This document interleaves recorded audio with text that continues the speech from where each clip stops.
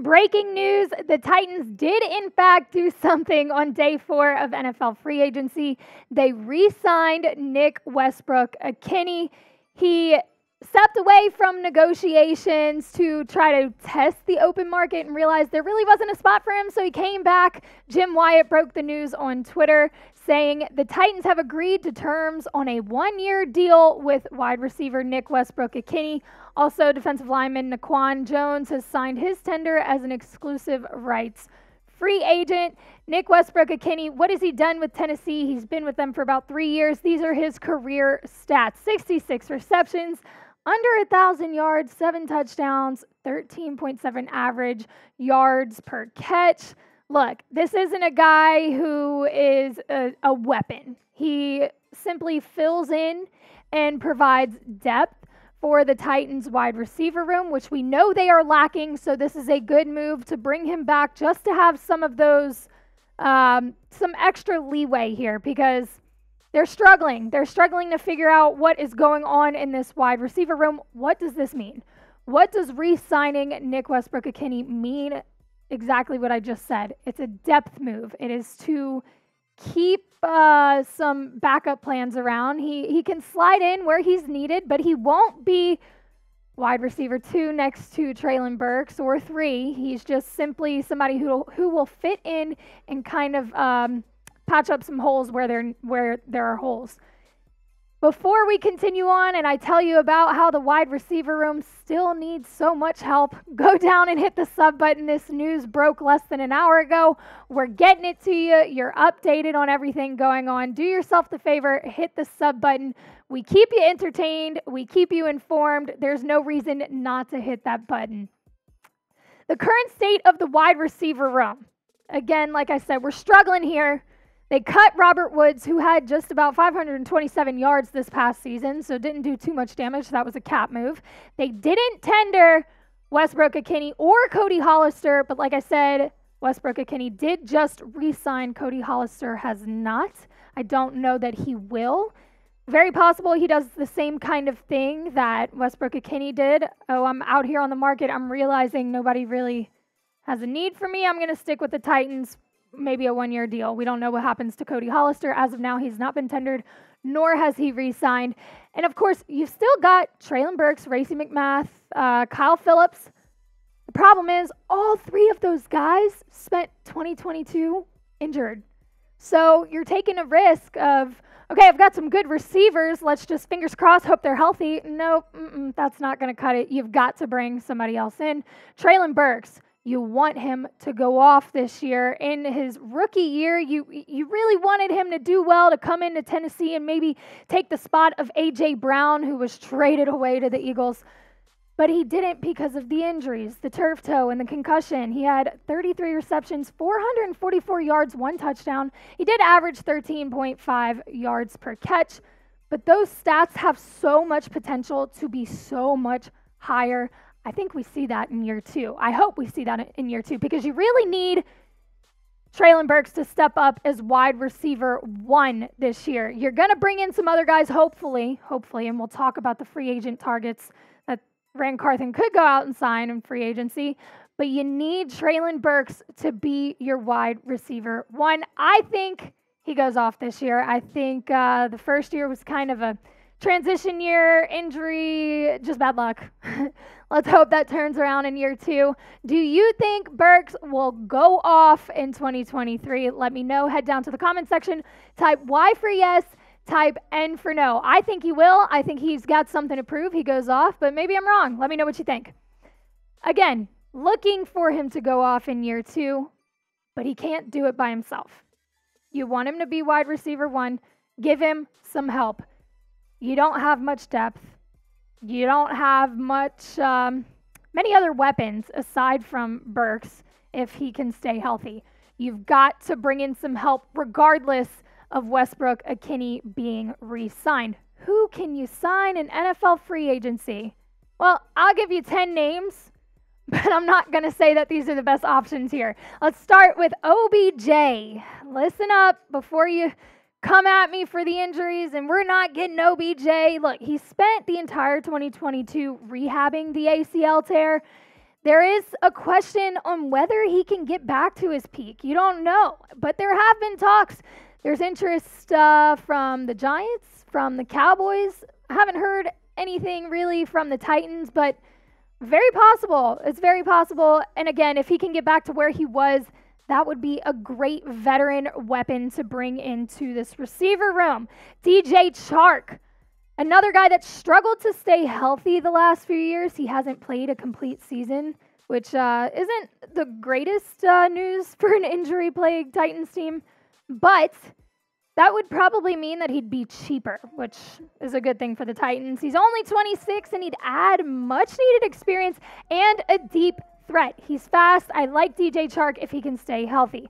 Adam Thielen, older, released from the Vikings because of the cap number. I don't think he really fits into this receiver room.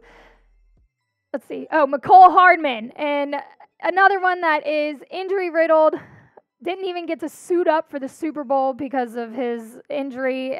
Underwent surgery. The groin issue might still linger. I don't think this is somebody you want to sign because of the injury problem. And of course, Darius Slayton, when he's healthy, this is a common theme, guys. The injuries are a problem. When he's healthy, he's reliable. He was a guy that Daniel Jones was able to count on in 2022, and he'd be a solid addition to the Titans. But I again, you you got health concerns. Before I get to the next five, let me tell you about today's sponsor in Fanatics. You see this nice jersey on the screen? Yeah, it might be the only wide receiver jersey you have for a while. You should go out and get a Treylon Burks jersey because – I'm calling it. He's going off this year. You want the jersey to rep him when he shows everybody that he's not playing. So head to Fanatics, go to chatsports.com slash Titans jersey to get a Treylon Burks jersey and show off your new gear all throughout the offseason and during the 2023 NFL season. The next five, again, don't come at me. These are still the guys on the market because – Receivers are a big need for a lot of teams right now. They're getting picked up one by one. Uh, we saw my guy, who I was really hoping would end up in Tennessee, Parris Campbell, get signed by the Giants just a few hours ago. I was really upset about it, but you got to move forward. Who can you go get? Is Jarvis Landry a guy you want to get? Five time Pro Bowler, started hot with the Saints last season, got injured, didn't come back the way he was before ended the season on IR for an ankle injury. His last 1,000 yard season was in 2019. He missed 13 games last two years. I know you guys don't want to bring in somebody that is injury ridden, so I'd cross him off the list. Julio Jones. Julio Jones, injury after injury after injury, was that guy back in the day. Ah, uh, he might be cooked. Uh, I don't know this is the move you want to make either. Mack Hollins. Mack Hollins played well against Tennessee this past season. Titans did win, but Mack Hollins put up a hell of a fight. He could bring the veteran experience, uh, not injury ridden, so that's the plus here. After all the guys we've gone through, this might be one of the only ones who doesn't have health problems severely. Marvin Jones, another guy who kind of just was solid for the Jags this past season. And then Nelson Agholor, who might be a cheaper option, quick uh, a little older, but I think he's got enough left in the tank to be a receiver number two or number three, which is really what you're looking for. Overall, what do you so what do you do in free agency? Because you're running out of options. You are. You're watching Allen Lazard go to the Jets, who we talked about coming here. You're watching Paris Parris Campbell go to the Giants, and the longer you wait, the more guys that are going to get picked up, which make, makes me think that Ran Carthon is not looking for a receiver in free agency. Makes me think he might be looking to the draft to grab a receiver, which isn't a bad idea, except you're missing the veteran uh, experience there. You've got Treylon Burks. Treylon Burks hasn't played in the NFL really, aside from the few games he did play last season. He's not. He doesn't have the veteran experience. You draft a guy, he's got all the talent in the world. Again, he can't, he does not have the experience. I say you go out and you get a receiver in free agency that can bring that veteran presence and leadership to this wide receiver room that is incredibly young and lacking in depth. You bring in a vet, have him be the leader, the teacher, and then you draft a young, speedy guy because we know Mike Vrabel is all about speed. He has said it time and time again. He wants speed, he wants health, he wants athleticism. Go get that in the draft. Draft a veteran. I'm not opposed to DJ Chark. Again, injuries might be a problem. I think he could be a good pair with Treylon Burks.